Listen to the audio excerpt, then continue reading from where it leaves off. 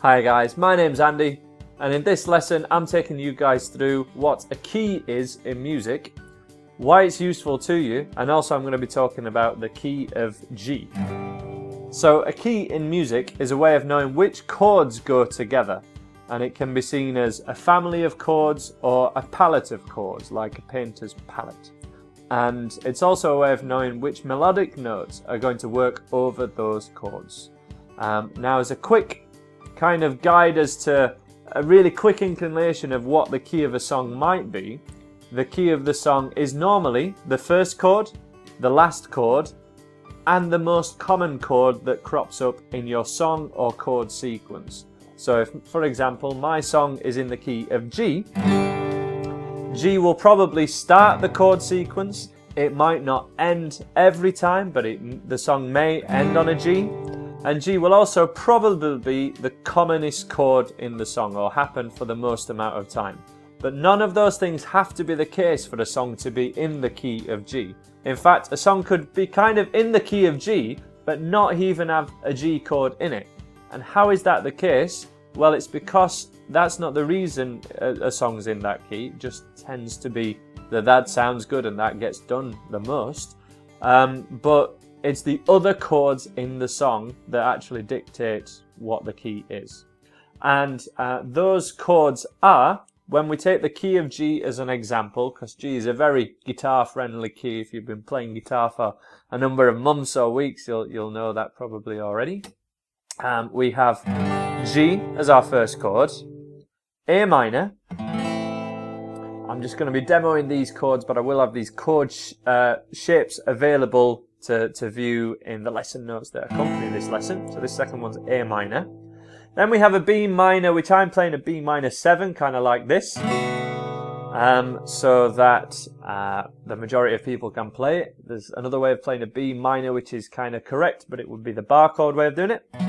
So I'm giving you guys the easier option of, of either of them. Uh, we have a C, a D major as well, and finally an E minor.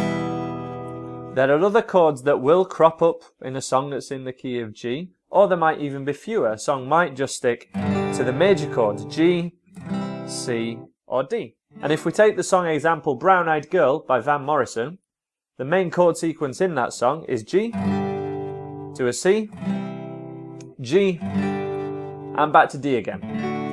And the only other chord that happens in the whole song is going to be an E minor. So we have these common chords that happen and in that chord sequence G, C, G and D, G is the first one and the most common. And G would end the song if it didn't just fade out. Um, so that's just as a quick inclination of what a key is and how it gets used. But why is that useful to a beginner or improving guitarist? Well, if you know the key of a song, you'll know how to play over it for one, and we'll be covering that in the in a later lesson in this uh, group of five for TrueFire. But also, you can just start to be one of those guys who can just pick up the guitar and play. You can play chords that sound good together rather than them being totally random and you put those with the strumming patterns that we've covered in the first two lessons and you're coming up with something that, that sounds good and it doesn't have to be that one song that you've played to death or another song that's kind of difficult and you're not yet comfortable with. And we're kind of learning the mechanics, the underlying workings of why things sound good, why, why certain chord sequences get used over and over again. And there are those well-trodden chord sequences, and I'll give you a couple of examples. Um, but the theory goes that you could pick any of those chords that I've just listed, G, A minor, B minor 7 or just a standard B minor, C, D and E minor. You could put them in any order and it will sound good. That's not to say that any other chord that you would throw in there would sound bad. It just might if you went from totally random chord to totally random chord and just kept going, you're probably going to run out of chords and it's probably going to sound a bit random. But this is kind of working out which chords fit together really well as a starting point for you to experiment with and then see those things happen in real songs, but also see how they're twisted to make it a bit more interesting. So Um, as I say, we have the common chord sequences that get used an awful lot, and it's best to start off with a bar of each chord for now. And most songs have four bars that tend to get repeated. Brown Eyed Girl, that I mentioned a second ago, is a great example. Bar of G, a bar of C, bar of G, and then a bar of D. Put it to the first most common strumming pattern that we looked at in lesson one, and we get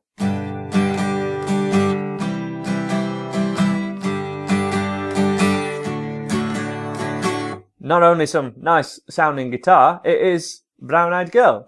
La la la la la la la la la la Okay? But take the chord sequence on its own, and it doesn't have to be that song. I could change the chords, the uh, strumming pattern, uh, to the to the other one that we were doing. The second most common strumming pattern ever and it sounds different.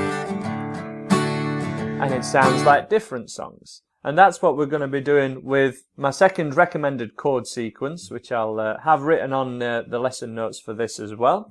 But that's going to be a bar of G, a bar of D, bar of E minor, and then a bar of C. They're the four most common chords in the key of G in the most common order and these you can do an awful lot of songs with as well. Uh, I'm going to go for the second most common strumming pattern ever to give us a little bit more time on each chord. So that would be one and two and a three and four and a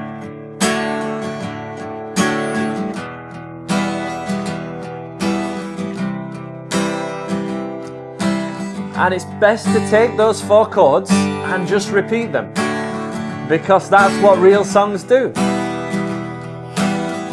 And um, if you haven't done already, I really recommend you checking out uh, the Axis of Awesome's four chord song, where they take those four chords that I've just played and just go through about a hundred songs, just playing like the chorus of each or one line of each song, and all the melodies fit over that same chord sequence. But here we're looking at the mechanics underneath that. And as I say, in the fourth lesson in this series of five, we're going to be covering how to play over it with quite an easy scale and start you guys kind of improvising and making melodies over it. So this is perfect kind of jamming material for any genre to be turned into any kind of music because this is just it's the same chords that can get used in so many different styles of music and it depends what you do with them. So we're just doing the the most common things so it's going to sound like at the moment standard pop song stuff. But if you have for example, rock riffs that you've done before that maybe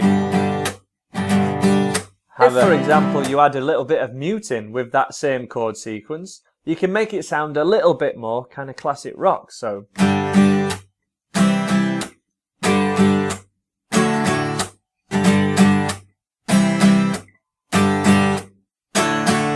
And that strumming pattern will also be written out on the lesson notes to this lesson. But as I say, we've got that common order. So common order number one, G, C, G, D for a bar of each. And then your four chord song order for a bar of each, G, D, E minor and C. And as you can play for the bar of each with any strumming pattern you want to go for and it will always work. You can swap out any of those chords with any of the ones from uh, from the ones that are in the key of G that I've listed earlier in this video and it will still work. And guess what? Even the notes we're going to play over that in a later, in the next video, it will still work even if we change the order. Now, of course, if it's all kind of planned out beforehand and you're really familiar with the sound of these chords and you've done this before, you can tie together the melody with the chords a little more. But in the early days, the theory goes that it will just work and it needs to be experimented with and it needs to be tried um, out. So we've got those two recommended chord sequences. And from there, I'd like you guys to write out four bars, so five lines down with four spaces in between them on a sheet of paper. Don't worry, I've done this for you already. It's in the lesson notes. Um, and we're going to be writing down one of those chords from the recommended one in each bar. You can put two in each bar if you want, but that's going to make it kind of harder for your changes. So it's up to you how challenging you want to make your chord sequence. You know, some people might want to stay away from the B minor because it's new to them, and that's cool because it doesn't always get used. Um, but you can do any order and it will kind of still sound good together. It will still work as guitar. But if you stick, you, what you might find is if you stick to those minor chords really, really often, your song tends to sound a little bit sad. And if you don't start on the G, it maybe doesn't sound like it's started or finished. It's got a, it's got a weird flow. And that's when you can come back to those two uh, recommended chord sequences that I've given you. And you can f- see and hear how it, how they do flow and how you could um, use any melodies or far more melodies over the top of them and it would work um, a lot better. So as I say, I really encourage you to take the pre-made sheets that I've got available on the website and write um, one chord from each of those, each of the palettes that's available and have a go at playing it. You can just do this in your mind and try and remember which chords they are and go from each of them. But if you write it down, you can kind of reflect on how that went and then have another go at, at changing it slightly. And you'll remember what you've done and you'll probably play it better. And then over those chord sequences that you create, we're then in lesson four going to be playing over those and getting used to this idea of improvising. But we tend to have the rhythm guitar down first to make the improvising idea uh, work a little better. And as I say, with those chord sequences, play with any strumming pattern you know, or you can use the two most common strumming patterns that were in the previous video.